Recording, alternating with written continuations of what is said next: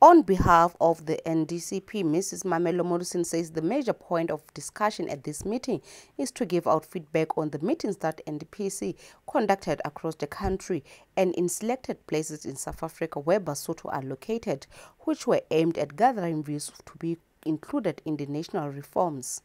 She says this report will be compiled before the second stage begins.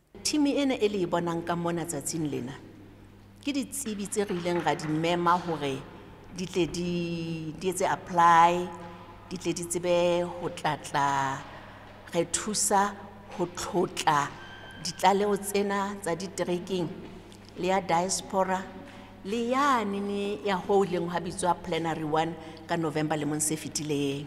Ba di tlotla ka tsela ya hore ba di hore di tle di be bonolo di tobe taba ha ho bua ka molao wa motheo ha ho bua ka ka ka ka makgotla ha ho bua ka palamente di be se di leba mo buang hona teng Mrs. Morrison explains that this is the most crucial stage because it paves way for a report that will be presented to the nation leaders so that it can be presented before parliament thus give direction on the way forward.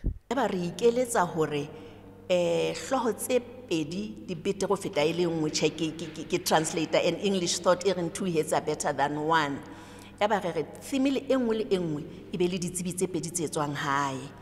Empa ka hodimo ho mono ya ba re ela hloko hore ha e ba re etsa tlhopho botjha dilemo tse mashome a mahlano a metso e meraro ka mora boipuso ba lesotho.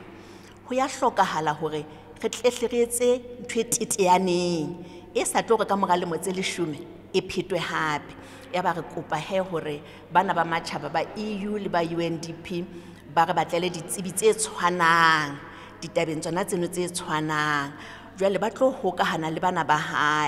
meeting involves the local and international experts, and they are working together to compile a national reforms plenary too. Among other issues that are a success in the reform process is passing of the National Reforms Authority Bill 2019 by Parliament. Mhlomi reporting for LTV News, Maseru.